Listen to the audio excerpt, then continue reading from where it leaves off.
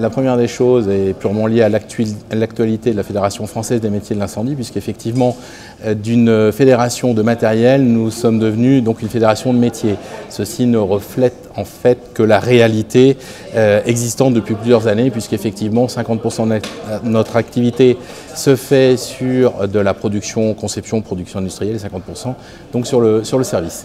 La FFMI, très rapidement, 3 milliards d'euros d'activité, 25 000 emplois, dont une immense majorité qui sont des emplois en France. Il ne faut pas l'oublier, qui représente une filière alliant euh, des connaissances et des compétences aussi bien dans la mécanique, dans l'électronique, l'électrotechnique,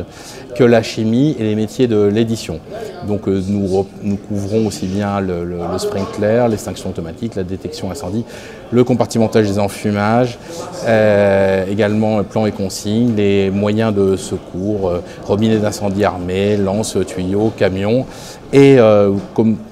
d'autres moyens euh, que j'oublie malheureusement, mais qui permettent au moins de, pouvoir euh, démontrer que la FFMI est relativement écuménique sur le sujet de l'incendie et la grande organisation professionnelle représentant donc les métiers de l'incendie. Quelles sont aujourd'hui nos préoccupations? Préoccupations que j'ai eu plaisir à pouvoir donc euh, tout à l'heure présenter lors du, dîner de gala. tout simplement, c'est le risque de déréglementation sauvage. Effectivement, aujourd'hui, nous pouvons nous prévaloir en France d'une réponse à la préoccupation du risque incendie qui est la plus totale. J'en veux pour preuve qu'aujourd'hui, le risque incendie est absent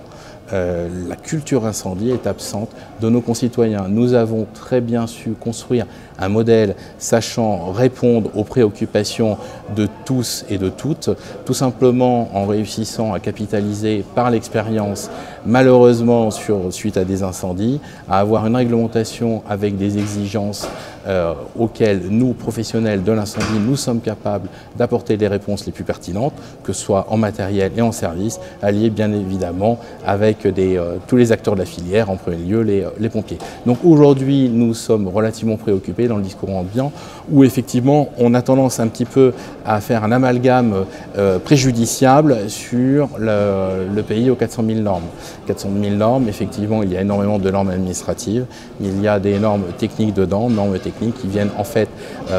sanctuariser et refléter tout le savoir de la filière de l'incendie. Euh, L'autre sujet qui a été abordé euh, ce soir, effectivement, euh, c'est je dirais que Préventica euh, avait avant tout une avait avant tout une, une, préoccupation qui était, ou un premier sujet qui était avant tout celui de la sécurité au travail. Donc on était sur d'autres problématiques que la sécurité incendie, mais effectivement, grâce, je dirais, aux volontés partagée de Préventica et euh, celle de la fédération, nous avons su, je crois aujourd'hui, faire naître des sujets complémentaires qui viennent enrichir le panel de Préventica sur la préoccupation de l'incendie et euh,